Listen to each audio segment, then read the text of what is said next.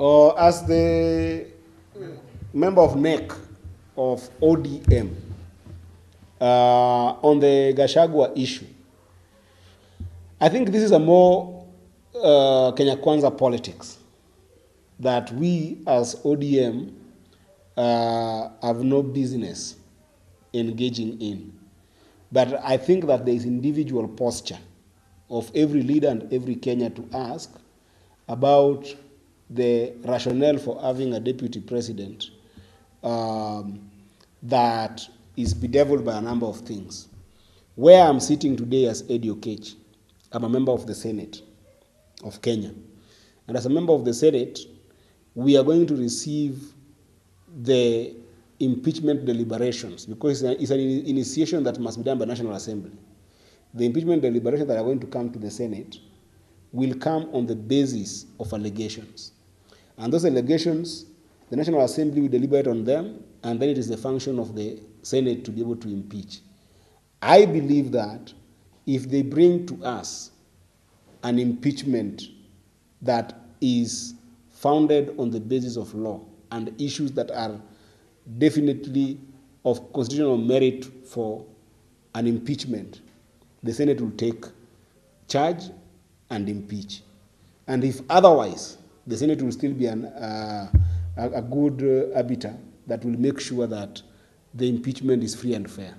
But uh, as things stand right now, as Oketch, I haven't received anything or any communication from the National Assembly uh, with regards to that impeachment.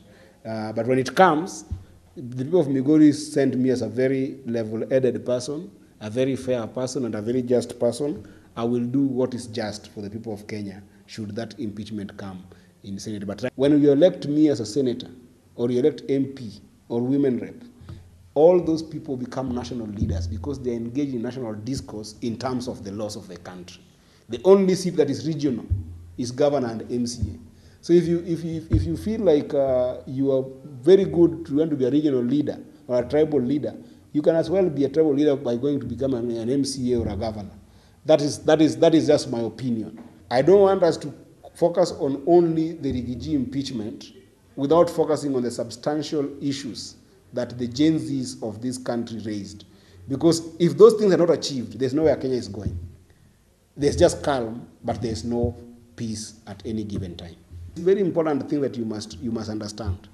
Whether you are elected in Kenya Kwanza, or whether you are elected in ODM or Wiper or the larger Azimio family, the constitution under Article 94 all the way to 96 requires that the national parliament must be able to oversight the executive.